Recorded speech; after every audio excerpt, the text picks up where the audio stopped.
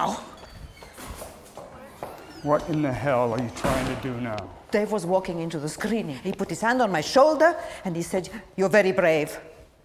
Brave? What does he mean? What does that mean? Brave. I must look terrible. Well, who knows? He's just a film editor. Why don't you ask him? I can't. His daughter, she started. He doesn't have a daughter. Whoever that fucking anorexic teenager he comes with, she started to throw up. How can you be anorexic and start to put fatty dressing on your salad? Dressing? Yes. Are you nuts?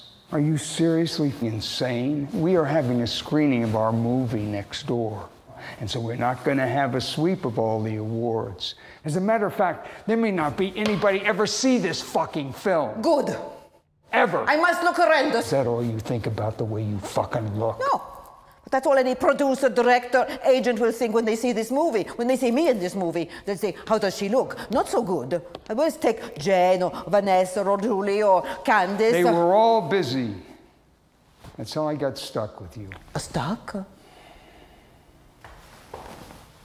That wasn't for me, you wouldn't have a movie.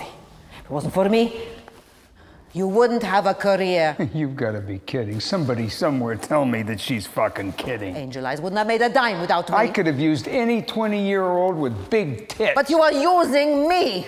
I'm not going to let you kill my career. You can't kill a corpse. Yes! What is that shit? I smell like a day old turd. It's just you, dear.